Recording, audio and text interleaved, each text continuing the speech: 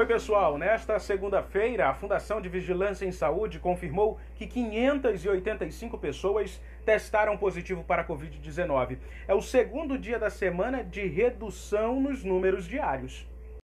O estado tem 20.913 registros da doença. 5.029 pessoas estão em isolamento domiciliar. Na rede pública, 342 pacientes estão internados em leitos clínicos e mais 155 em UTIs com suspeita do novo coronavírus. Outros 381 casos confirmados estão internados entre leitos clínicos e UTIs. A FVS contabilizou mais 20 óbitos pela doença, totalizando 1.433 registros. É amplo o crescimento de pessoas recuperadas. De domingo para segunda, foram mais 2.266 pessoas que saíram da quarentena. Ao todo, 13.929 pacientes deixaram de transmitir o novo coronavírus. Manaus tem 10.660 casos. A doença está presente em 59 cidades do interior, onde já foram confirmadas 10.253 pessoas infectadas. Os municípios com mais casos são Manacapuru, Tefé e Coari, com alto índice de contágio.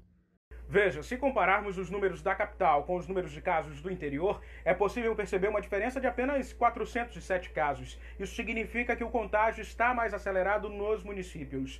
O LACEN está analisando 858 exames de pessoas que podem estar com o novo coronavírus. Mais informações em nossas redes sociais e na programação da TV Encontro das Águas. Lembre-se, fique em casa. Até mais.